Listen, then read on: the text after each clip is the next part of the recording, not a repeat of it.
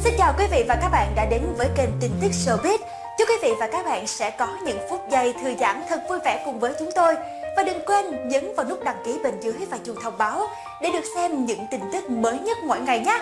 Và bây giờ, xin mời quý khán giả sẽ cùng đến với những tin tức nổi bật nhất trong ngày.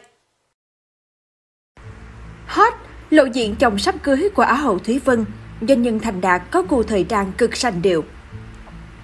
Ngày quốc tế phụ nữ vừa qua, Á hậu Thúy Vân bất ngờ khoe niềm vui được cầu hôn trên mạng xã hội. Thông tin từ mỹ nhân 27 tuổi khiến nhiều khán giả không khỏi ngỡ ngàng, bởi trong 3 năm qua cô rất kín tiếng về chuyện tình cảm. Vì Thúy Vân rất kín tiếng, nên việc truy tìm danh tính hôn phu của cô khó như mò kim đáy bể.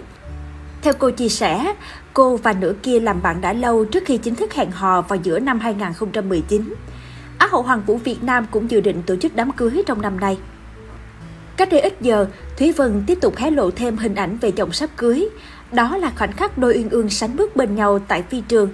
Tuy nhiên, góc chụp từ phía sau vẫn khiến dân mạng chẳng biết đâu mà lần.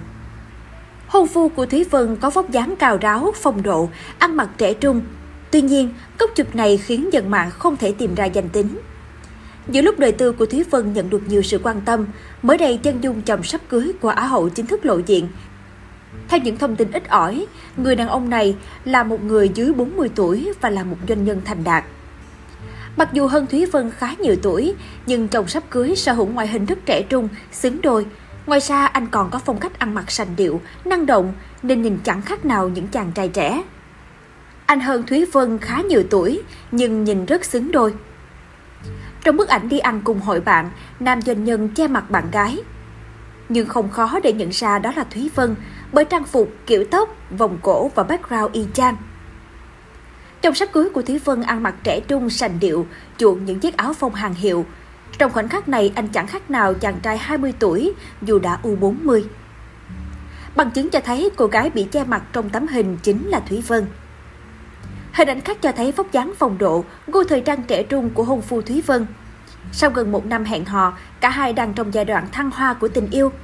Người hâm mộ rất chờ đợi đám cưới hoành tráng sẽ diễn ra ngay trong năm nay, theo như lời Á hậu chia sẻ. Xin chân thành cảm ơn quý vị và các bạn đã quan tâm và theo dõi video. Hãy nhấn vào nút đăng ký bên dưới để được theo dõi những video mới nhất, được cập nhật mỗi ngày quý vị nhé.